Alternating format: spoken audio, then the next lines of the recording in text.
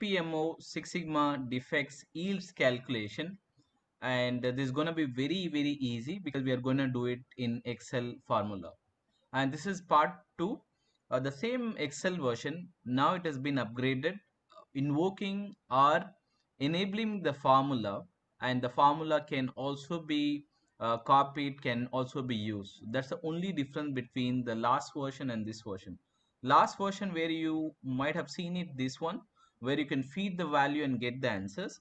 Exactly the same thing. So in this version uh, version number 5 has been invoked with a formula. For example if you wanted to see any formula you will be able to see the formula and uh, what logic to it and all that you will be able to see. That's the only difference.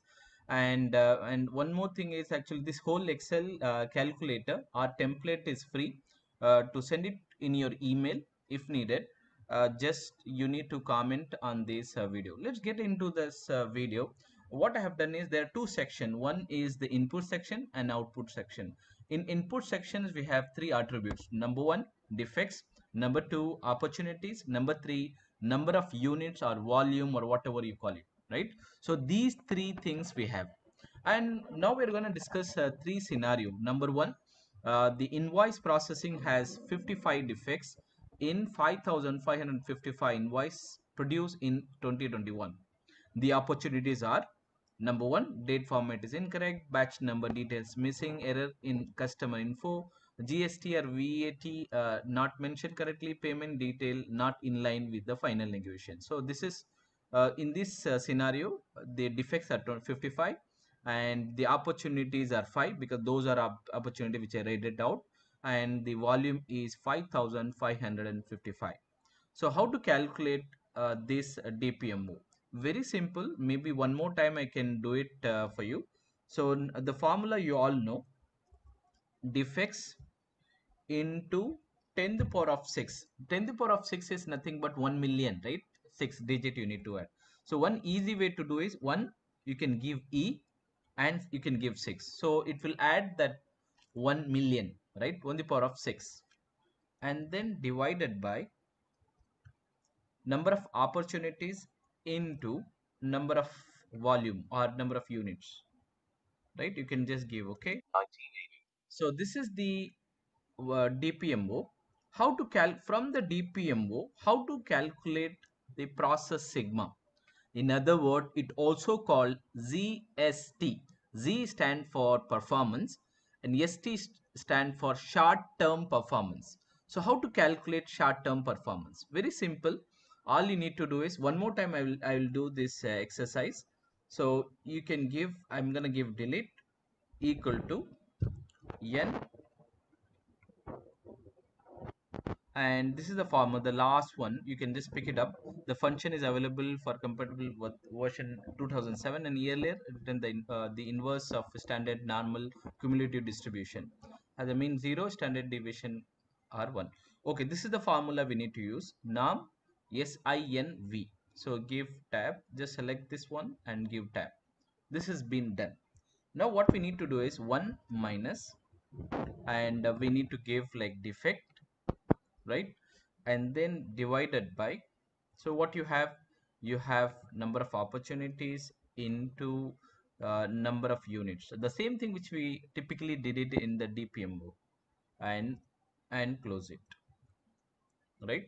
So so and 2.88 so what we need to do is uh, short term we need to add 1.5 shift actually. As a shift it can have 1.5 so right each shift in Six Sigma each shift is 1.5 right? 1.53 then 4.5 and 6 right? So I'm gonna add it.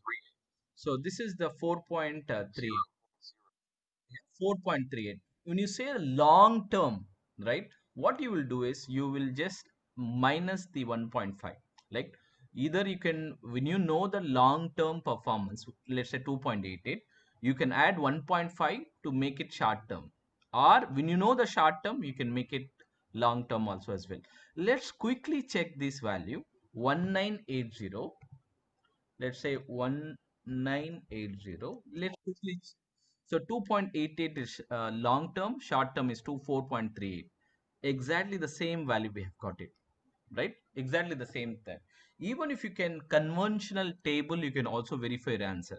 let's go and see that 1980 right 1980 somewhere here right? So it comes between that 4 point you can see here 4.4 uh, uh, we have got 1860 right? The, it's supposed to be so 4 point uh, around 4.3 and 4.4 right?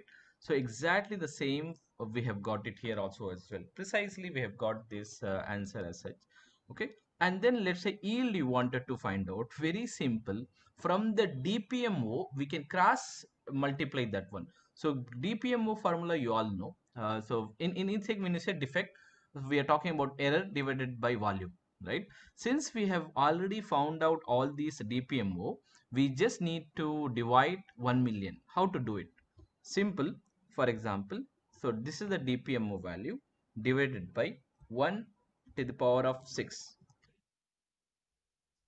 yeah and then what is the yield? Yield is 1 minus that value is the yield 99.80198 even when you put like 99.80198 you will get this percentage. The cross multiply also you can do. For example i'm just what i'm doing is i'm just going here uh, yield 99.80 maybe i will just quickly pick it and then 8018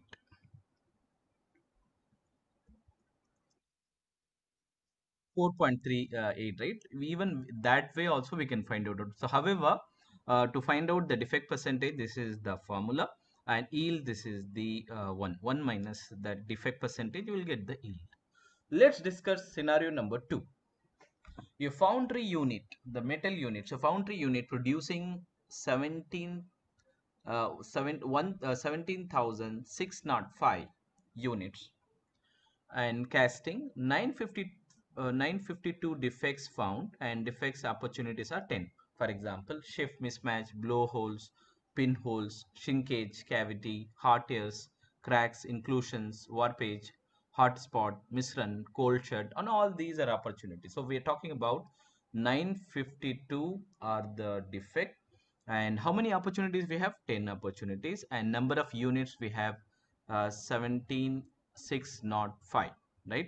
And then we can automatically will get calculated. Uh, so you can see here the same thing formula is uh, you know you can just i'm just copy pasting this formula so that the same formula will be applied everywhere. Okay so what i'm doing is uh, so this is the one uh, so c3 that is c3 is uh, the defect divided by uh, c4 and, and opportunities into. This is perfect. And uh, so uh, when you say process sigma or zst we need to add 1.5 that is perfect. And zlt is perfect. And then we got that defect will have 0.5 percentage defect will have. That means the yield will have 99.5 so right? So let's also check like 5408 5408 5408 4.05 is the uh, short term one right? So exactly we got the same value. Let's do third scenario together.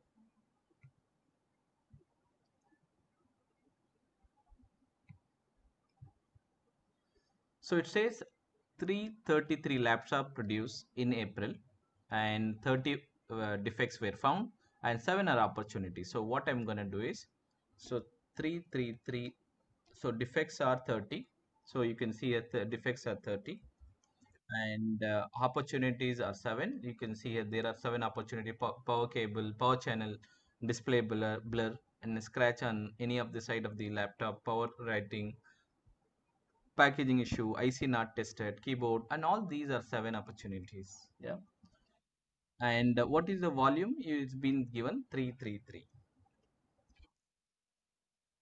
so you can what i'm doing is i'm just invoking this formula. So I, I have already got it. So that means the dpmo defect per million opportunity is uh, 1 12870 right? So 12870 let me just feed this value 12870